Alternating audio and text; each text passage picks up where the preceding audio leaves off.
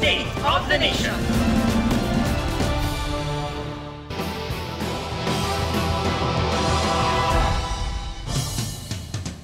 Damang-dama ang Pinoy Pride sa Heroes Welcome Parade para sa magigiting nating atletang lumahok sa 2024 Paris Olympics. Kabilang sa mga nag-abang at nagpakita ng suporta ang ama, lola at mga kaanak ni two-time Olympic gold medalist Carlos Yulo. May report si Joseph Morong. Bakas ang saya sa mukha ng mga Pinoy Olympians sa Heroes Welcome Parade. Ang tagumpay nila lalong pinatamis na masigabong pagsalubong sa kanila. Mula sa Aliw Theater sa Pasay, umigos sa ilang bahagi ng Maynila ang float na sinakyan ng labing-anim na atleta kabilang na si two-time Olympic gold medalist Carlos Yulo.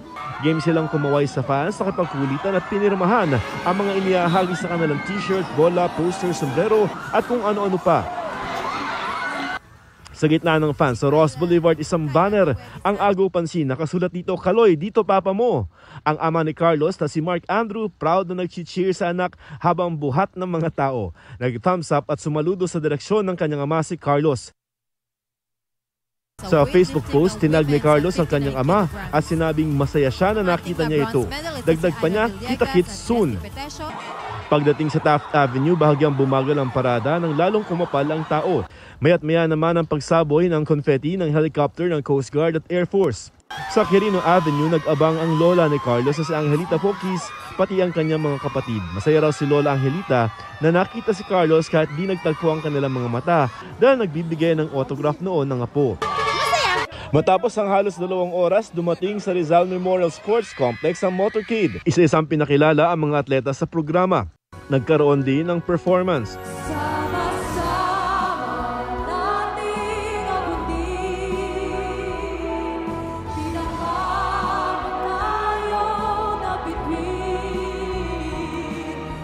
Kasabay ng pagpapasalamat, may pangako rin binitiwan si Carlos sa kanyang talumpati. Mas gagalingan pa po namin sa mga susunod na competition at um, asahan niyo po na mas makakakuha po tayo ng mas maraming medal po. Joseph Morong, nagbabalita para sa GMA Integrated News.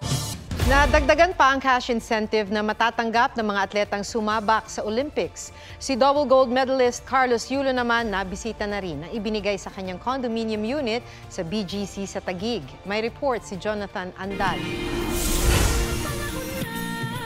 Inuulan ng biyaya ang double gold medalist na si Carlos Yulo. Ang iniabot ng Pangulo na 20 million peso cash incentive sa Heroes Welcome sa Malacanang na alinsunod sa batas, tinapatan pa ng Office of the President ng 20 million pesos.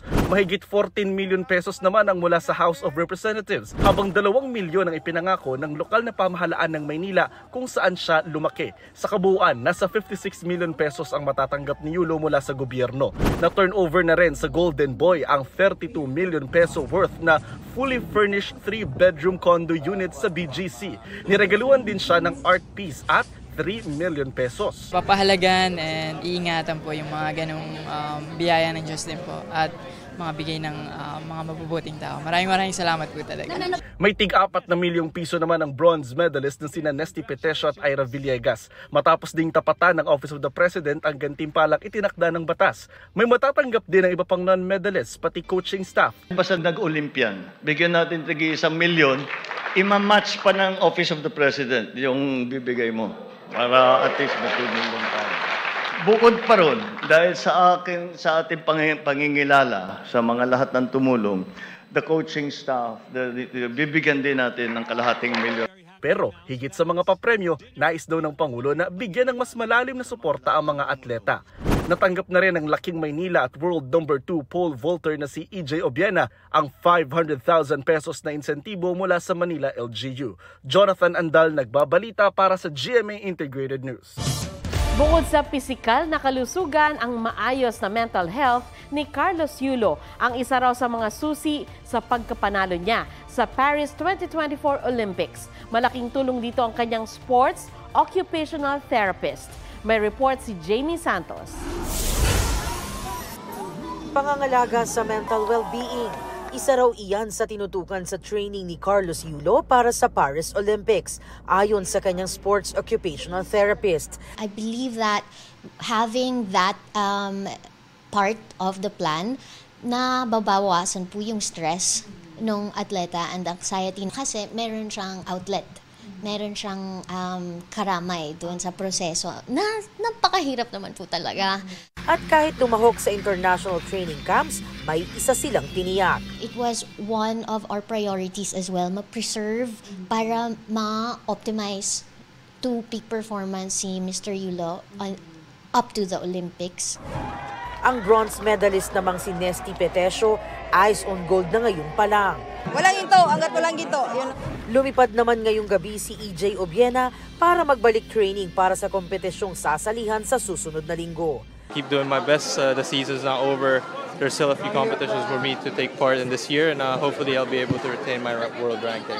Jamie Santos nagbabalita para sa GMA Integrated News. Kinuyog at binato ang isang tow truck sa gitna ng kilos protesta ng grupong Manibela kontra sa PUV Modernization Program. Bumigat din ang traffic kaya may mga na-late na motorista at pasahero. May report si Marisol Abduraman.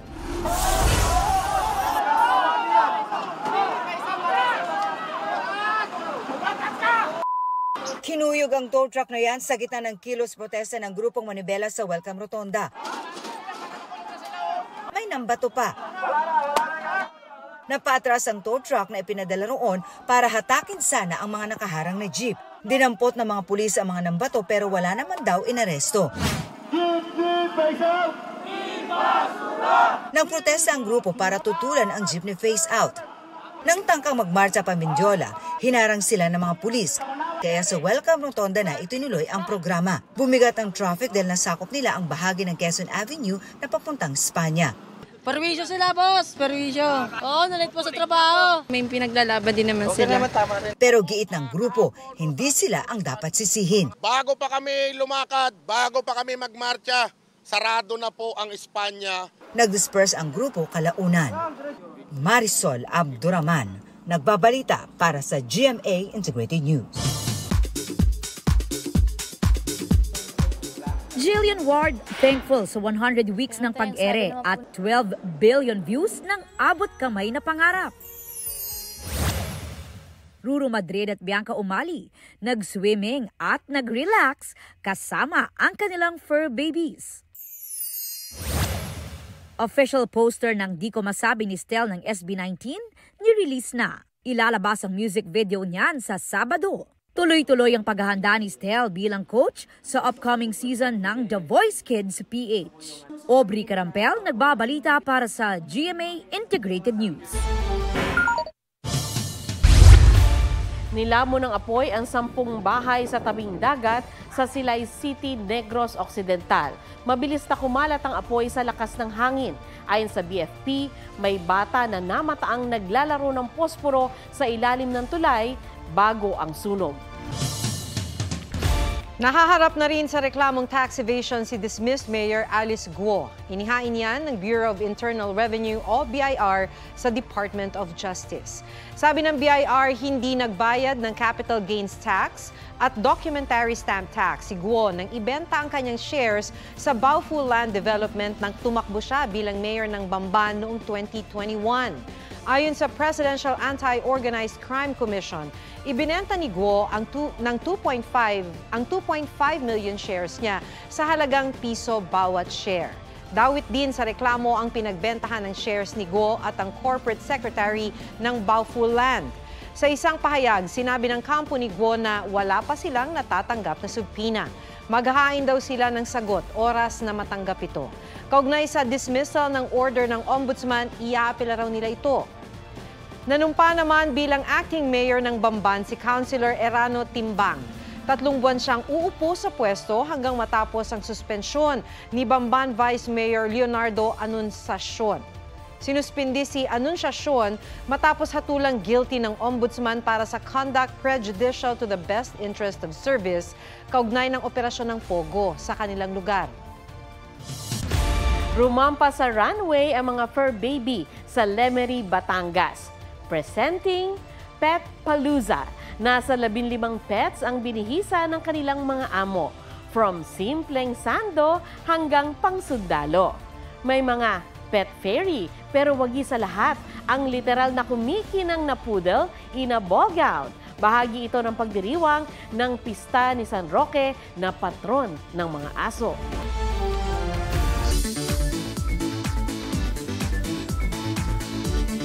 Hindi kayo mabibitin sa dami ng waterfalls na pwedeng puntahan sa Ilocos Norte. Ang isa nga, malakortina ang pagbuhos ng tubig. Talaga nga. Gita Riorian sa report ni Ian Cruz. Tara sa Ilocos Norte, di maubusan ng falls. Itong Tanap Avis Falls parang di rin nauubos. Kahit sa anggulo, tubig nito'y bumubuhos. Malakurtina sa ganda. Kahit pa nga nasa tuktok ng bundok, dinarayo ito sa bayan ng Burgos. Sa bayan ng Quintar, may Tingtinga Falls. Hindi pinipiga ang tubig dahil ngayong tag-ulan, buhos ang agos. Kaya mas buhos din ang mga bumibisita. Ian Cruz nagbabalita para sa GMA Integrated News. Ako na mapunta. Yan po ang State of the Nation para sa mas malaking misyon. Ako si Maki Pulido. Para sa mas malawak na paglilingkod sa bayan, sa ngalan ni Ato Maraulio, ako si Sandra Aguinaldo mula sa GMA Integrated News. Ang News Authority ng Pilipino. Huwag magpahuli sa mga balitang dapat ninyong malaman. Mag-subscribe sa GMA Integrated News sa YouTube. Sa mga kapuso abroad, subaybayan nyo kami sa GMA Pinoy TV at sa www.gmanews.tv.